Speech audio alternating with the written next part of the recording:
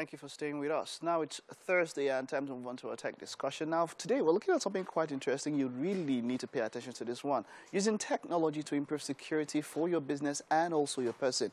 Zita Agwunobi is our guest today, a corporate lawyer with over 16 years of experience in due diligence and managing corporate exposure to liabilities. It's great to have you. You're welcome. Now the first question, my producer even asked the question, how is it so much that a lawyer who's as vastly experienced as you are is talking tech this morning? How, how so? How did you move from law to tech? Was tech always there? Um, yes, absolutely. So um, who else does due diligence better than a lawyer? Mm. Um, iVerify is a due diligence platform mm. that enables businesses, enables users to access verified and proven identity so they're able to secure their businesses better. They're able to know who, who really are they dealing with. So you need um, the likes of the KYC, the KYV, that's know your customer, know your vendor. So the customer due diligence, the enhanced due diligence, that's what um, verify represents. So how did you, what, what was the need you decided to meet as a, you know, as a, getting into tech? tech? Um, iVerify is a story.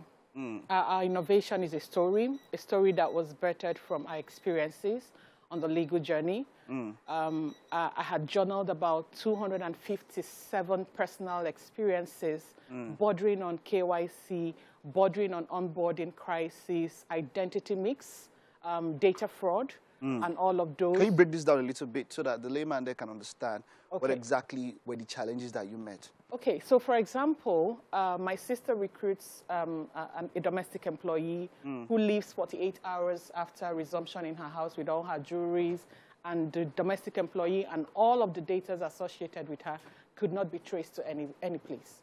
Okay. They were non-existent, uh, they were not known. Mm. She was not known in the addresses she provided. She was not known with all the references and guarantors that were associated with her.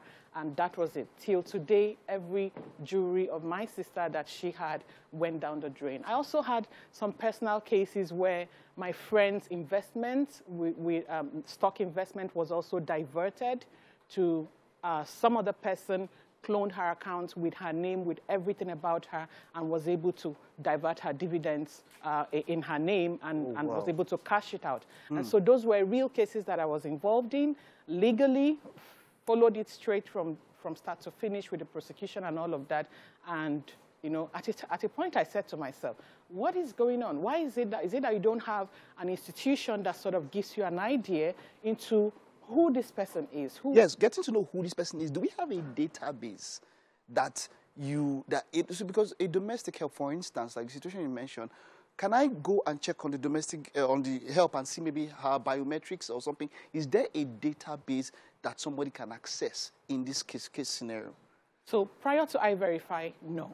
Okay. But with the birth of iVerify, yes you are able to verify who you're dealing with. You're able to associate um, the ID validation, put a, a, few things across like the record match, the data cross-referencing, and you're able to build one single identity for this particular person holistically, not just relying on the digital ID that has been provided, but also matching the digital ID with every other information that is associated with that person to give that person an I-verify unique identity. So now this is this is something. Now we've had cases that had to do with fraud, and a lot of this, you know, um, especially due to the kind of reputation that we have as Nigerians, you know, outside the country and all of that, with such cases and all of that. P putting together, collating a database has always has been quite a problem. How have you been able to get that database that you are talking about? Partnerships okay. collaboration. Mm. So currently iVerify operates in Nigeria, in mm. Ghana, in Kenya, in South Africa, in Uganda. Mm. And these are done through partnerships with government, partnership with the non-government establishment, and all the authorities where these databases are domiciled. So you mm. are able to access them via our API. Mm. Within 20 seconds, you're able to get the information that you need. About any person you are trying to employ or any business you are trying to get into? Any person, right? so you have the KYC, which is know your customer or know your employee or know who you're dealing with. Then you mm. have the KYV, that's know your vendor. That covers know your business, know your supplier, know your company. That's, that's a different bucket on its own. So, mm. but anything that has to do with relationship, who you're dealing with, you want to know that person, you want to prove that identity, That's what iVerify does for you. Wow, this is identity fraud. That's something that we see quite a lot of people using and all of that. So, you you mentioned the case of your sister. What can you can you give me a a solution that you have provided through what you do?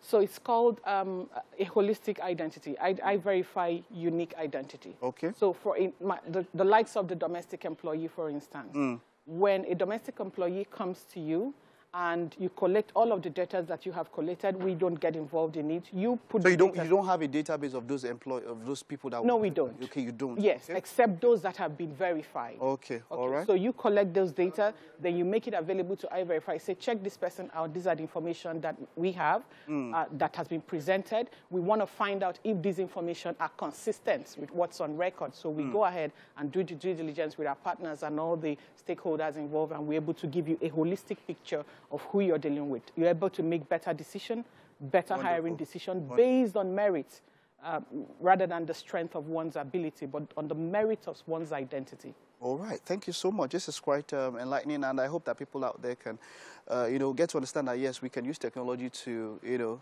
to ensure that we verify, so that things we can always, if something does happen, we can always get back to. With it. a click. Well done, well thank done. You. Wishing you the best. Thank you very right. much. Okay, so that's it. We'll be able to pick something. Then I'll head over to the kitchen. MM, okay. so still there. What's up? What are you guys doing?